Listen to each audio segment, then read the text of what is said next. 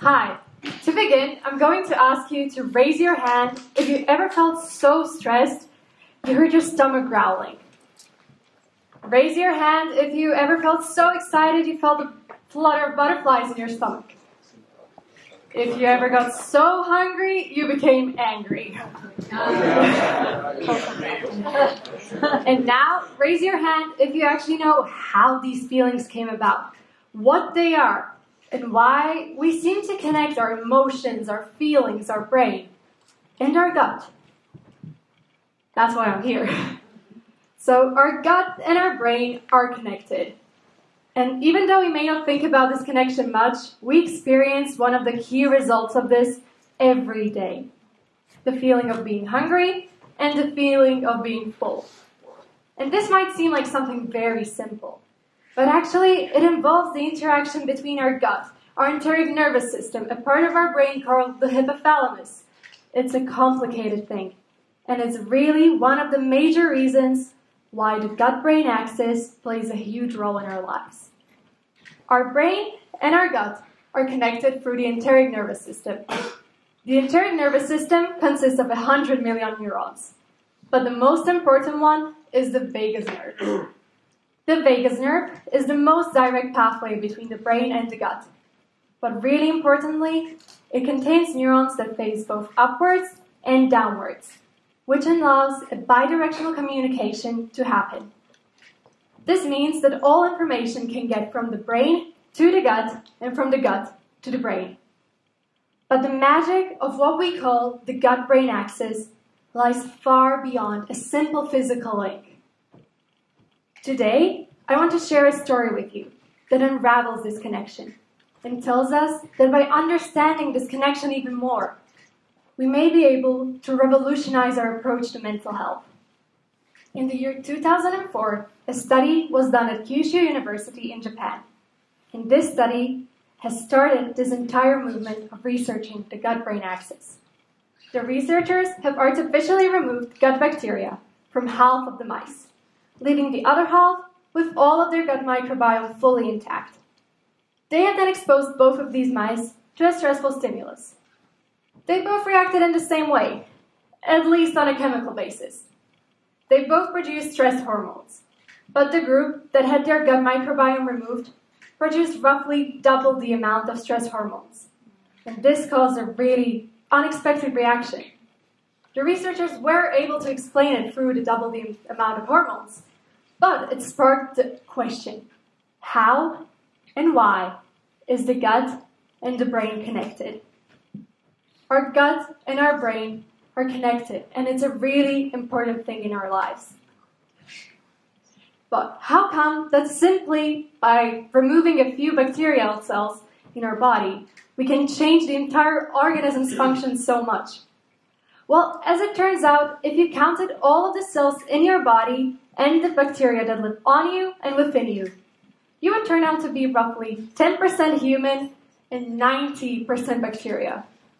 So, by sheer numbers, bacteria play a key role in our lives. And 80 to 90% of them are found right in the gut. So, the health of our gut microbiome can determine our health. And we can impact the health of our gut microbiome by the food we eat. If we eat foods such as yogurt, kimchi, or sauerkraut they're filled with probiotics, we are able to help the health of our gut microbiome. When you're eating a yogurt, you're not only eating a dairy based product, you're also eating live bacterial cultures. And it's these cultures that really create all of the magic. Yogurt contains bifidobacteria and lactobacilli, and these two bacteria have the power to stimulate the production of GABA. GABA is a neurotransmitter, and the neurotransmitter has the ability to control stress and even anxiety. So clearly, these bacteria have a huge hold on our lives. Hormones and neurotransmitters are chemical messengers that are found all over our body, and they then alter the way it functions. There are many neurotransmitters in our body that are found right in the gut, even though a lot of people do associate neurotransmitters and hormones with the brain. These include serotonin, melatonin, adrenaline, dopamine, or, as I already mentioned, GABA. And when you look at serotonin, 90% of it is actually found and produced in the gut. And when it comes to serotonin, what you eat really is who you are.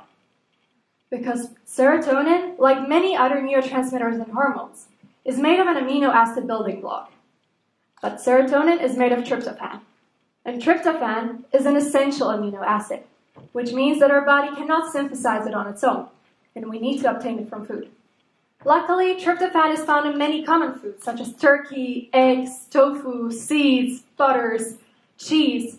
But if we don't eat these foods, we are not able to produce serotonin. And that has a huge impact on us because serotonin can impact our mood regulation, our temperature regulation, our stress, our sleep, and it has even been linked to anxiety and depression. So, have you ever wondered why comfort food doesn't really tend to bring as much comfort? Well, comfort food is really confusing if you think about it. Your brain might be trying to convince you that that second tub of ice cream is basically a dairy based antidepressant, but your gut has quite a different opinion on this. Your gut needs foods like yogurt, turkey, that it can take the chemicals it needs to build the neurotransmitters and hormones that will make us feel better in the long run. Because comfort food will raise our blood sugar, which will make us temporarily feel better. But in the long run, foods that help our gut microbiome are a lot better. So, food and our gut microbiome has a huge impact on our health. And researchers have wondered whether there's an even closer reason for this.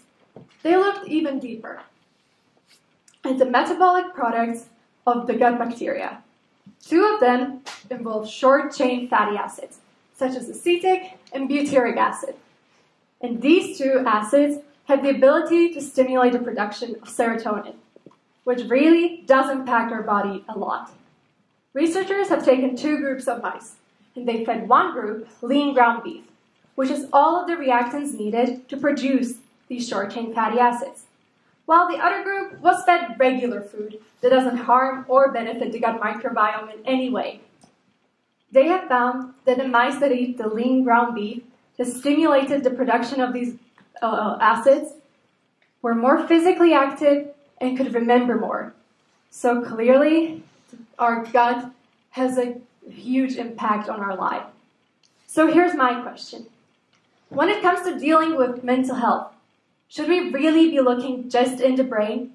Or does the gut hold more solutions to this issue than we can now even imagine? Perhaps it's time to stop considering the gut as just a silent player on the other side of the body, but as one of the keys to solving the issue. Perhaps by understanding the gut brain axis better, we may open doors to new approaches and revolutionize fighting mental health. Because as the father of medicine, Hippocrates said, all disease begins in the gut. Thank you.